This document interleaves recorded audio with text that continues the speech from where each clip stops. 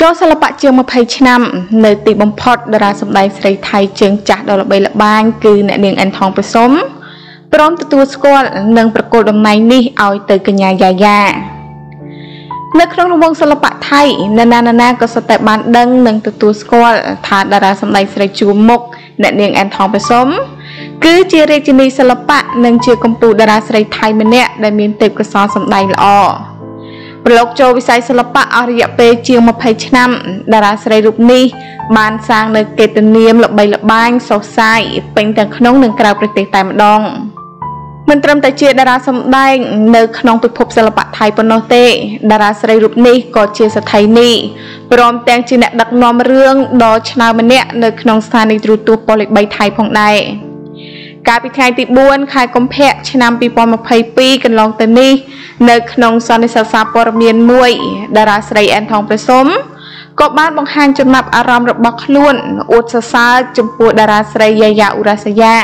ហើយនាងបានលើកឡើងថានឹងប្រគល់តំណែងពាក្យថារាជិនីសិល្បៈថៃនេះ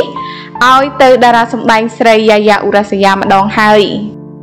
មូលហេតុដែលនាងនិយាយបែបនេះក៏ព្រោះតែកន្លងមក នាងបានមើលឃើញពីសមត្ថភាពអត្តចរិតរបស់តារាស្រីយាយ៉ាអ៊ូរ៉ាសយ៉ាគឺជាមនុស្សដែលមានទេពកោសល្យខ្ពស់និងមានសិលធម៌ល្អនៅក្នុងនោះតារាស្រីអិនថងប្រសុំក៏បានបន្តទៀតថាមិនមែនមានតែតារាស្រីយ៉ាយ៉ាអ៊ូរ៉ាសយ៉ាម្នាក់ទេដែលមានទេពកោសល្យល្អគឺមានច្រើនទៀតនៅក្នុងសិល្បៈថៃក៏ប៉ុន្តែតារាស្រីយ៉ាយ៉ាអ៊ូរ៉ាសយ៉ាគឺជាតារាស្រីម្នាក់ ដែលនាងស្និទ្ធព្រមទាំងស្គាល់ច្បាស់ជាងគេជុំវិញការនិយាយបែបនេះគឺពិតជាធ្វើឲ្យអ្នកកសែតនិងមហាជនក៏សម្ដែងការគ្រប់គ្រងដែរព្រោះថាតារាស្រីយ៉ាយ៉ាគឺជាតារាស្រីម្នាក់ដែលពោពេញទៅដោយទេពកោសល្យមែនជាពិសេសនាងគឺជាតារាស្រីដែលមិនសូវមានរឿងអាស្រូវនឹងគេឡើយដូចនេះគេអាចចាត់ទុកនាង ជាកម្ពុជាតារានិងជារាជិនីសិល្បៈបាន គឺពិតជាស័ក្តិសមខ្លាំងតែម្ដង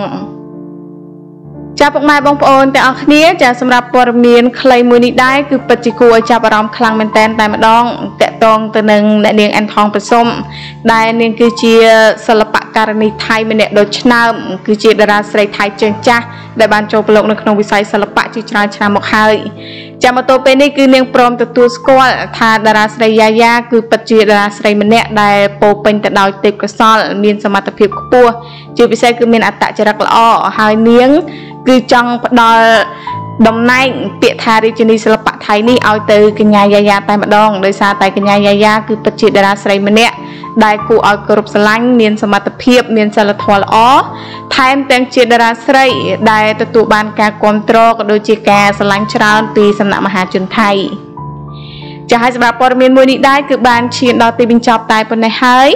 នាងខ្ញុំសូមអរគុណពុកម៉ែបងប្អូនទាំងអស់គ្នាដែលបានតាមដានស្ដាប់ក៏ដូចជាទស្សនាព័ត៌មានមួយនេះចាគណៈពេលនេះដែរនាងខ្ញុំសូមអរគុណនិងសូមជម្រាបលា